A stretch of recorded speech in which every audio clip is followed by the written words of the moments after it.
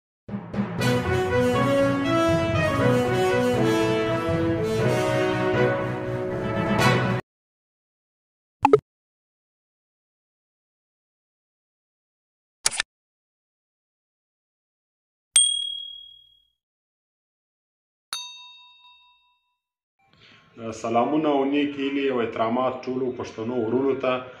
د جمعې په ورځ پر اوویشتم نومبر باندې سهار نه بجې د جنوبي پښتونخوا تاریخي ښار چمن کې د پښتون تحفظ مومنټ له اړخه یو لوی جلسه عام کېدونکې ده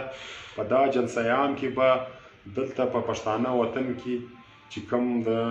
پي ټي ایم پر مشرتابه باندې بندیز دی د دې خلاف غږ پورته کیږي او ورسره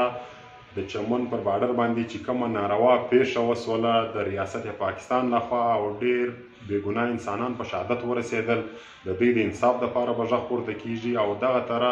چې په اتم اګست باندې کم په کوټه کې زموږ وکیلان په شهادت رسیدلی ول د دې د انصاف لپاره به غږ پورته کیږي او ورسره دلته زموږ بلاک شناختی کارډونه دي د دې د خلاصون لپاره به غږ پورته کیږي او دلته د کوټې څخه خداینور خوان اچکزی چې د دوه زره څوارلس مه سلا پته دی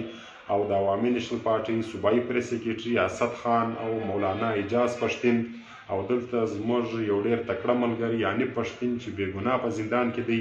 د دې د خلاصون لپاره به غږ پورته کیږي او دلته چې په جنوبي پښتونخوا کې کومه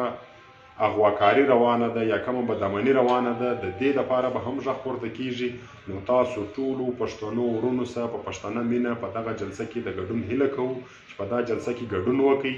او د ضلع کوټې پي ټي ایم ټولو ملګرو ته ټول ولس ته دغه هدایات کوو چې ټول کم هغه ولس کم ځوانان کم سپین ږیري په دغه جلسه کې ګډون کول غواړي هغه دې خپل په علاقو کې د علاقايي کوارډینیټرانو سره خپل نومان ولیکي